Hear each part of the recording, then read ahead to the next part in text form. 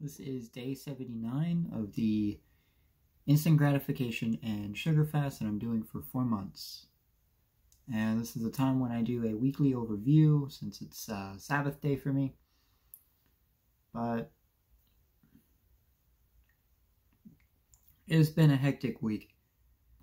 Uh, it's like it's mostly been mental. I've been falling like I've been falling back into my faith further and further or falling back on my faith, I guess would be the better way. And it's, I'll be honest, it has made me feel incredibly lonely. It's kind of made me realize in my situation and made me realize I'm actually tired of being isolated, though I don't think that is what it is. Tomorrow I'll be trying out a new church, which is a youth church. Hopefully, hopefully I can make some friends there. Hopefully I can actually meet some new people who are more the crowd that I'm looking for. I've I've been consistent with everything else but like drawing and I'm still having trouble with that instant gratification thing. But after Monday, I'm going to completely block YouTube. Yeah. After Monday, I'm going to completely block YouTube because I have everything I need. And uh, I have an art improvement Discord plus tools on my phone to help me make sure that I got my measurements accurate, accurate which is all I really need to do for drawing right now. And while it was pretty ambitious to say that I wanted to learn more skills, I honestly don't know if that's going to happen. I don't think that is going to happen. Right now, I just want to focus on drawing, get to the point where I can start constructing scenes at the very least, making whole characters from imagination. Now, I still want to use reference as inspiration, but I want to be able to like make my own characters from imagination. And if there was any other skill that I need to learn, I'd say it's probably writing. Since I'm going to like since I'm going to make stories, you should probably learn how to write them. There's also a sketchbook club coming up. Which I've thought about going to, but it kind of depends on my job. Right now at the job I'm at, I don't know if it's possible. At least not this time. I can go next week. I can go next month. And uh yeah. I may just have to go next month. In terms of the CNA, I'll be able to start in June just got to be on the lookout for that application.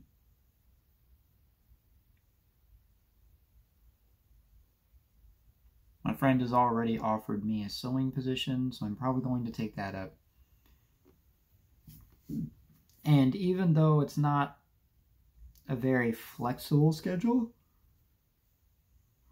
the schedule does make it to where I can do more during the day and the weekend than I can at my job right now. So I'm looking forward to that.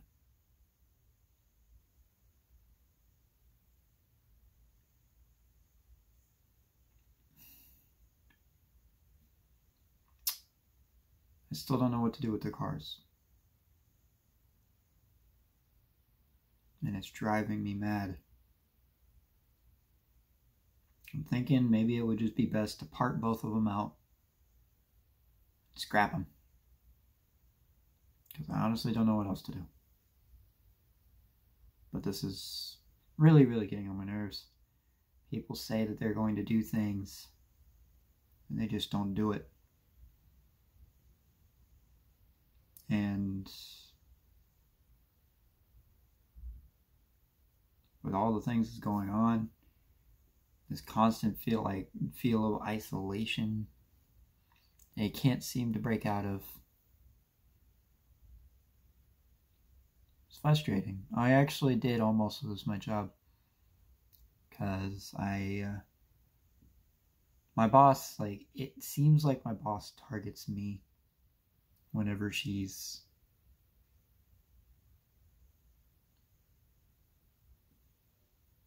whenever she's mad or like it's pretty obvious she doesn't like me. Like actively hates me she's even said it. But i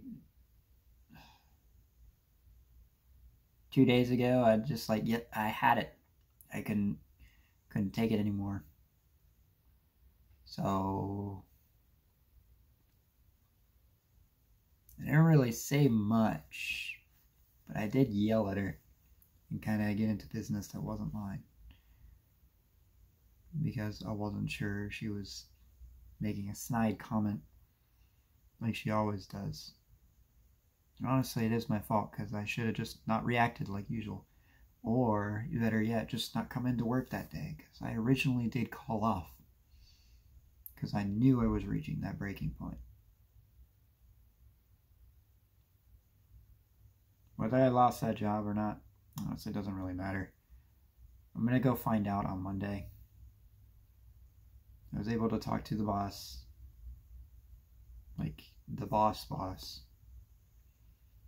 and he told me to check in on Monday to see where I'm at. Even if I manage to get that job, I'm still going to be looking for somewhere else to go. At least until I can figure out this whole CNA thing. My friend at work swears up and down that he can get me in. At this point, I'm ashamed to say that I'm not really sure anymore. I want to do the CNA thing, and I do trust him. But I feel like my trust has been tra- betrayed so much that I don't know if I should believe him. I'm still gonna go for it, but I'm still gonna be very, very I'm gonna be very, very cautious this time. If I do get that sewing position, honestly, that would be pretty good. It's only a dollar hit. I have a ride there, so I don't have to worry about transport and it frees up my schedule.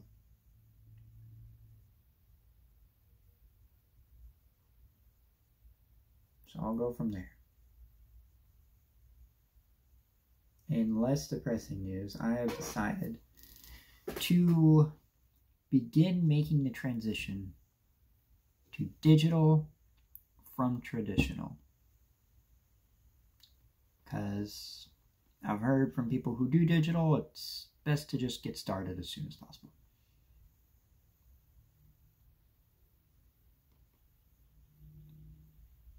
So I'm going to do that. I'm going to keep my expectations low. Keep my expectations real low. And just go from there. Take the time to learn. Take it slow. I've noticed that when it comes to things happening, I want them to happen too fast. And that is probably where I trip. That's probably where I fall the most. So I'm just going to look at this as a new humble beginnings. And I will go from there. Just keep my options open keep my options open, but still work towards the bigger picture. I think that's the best I can do right now. So, with that being said, I'm going to let you go. I hope you all are taking care of yourselves. May God bless you in your endeavors.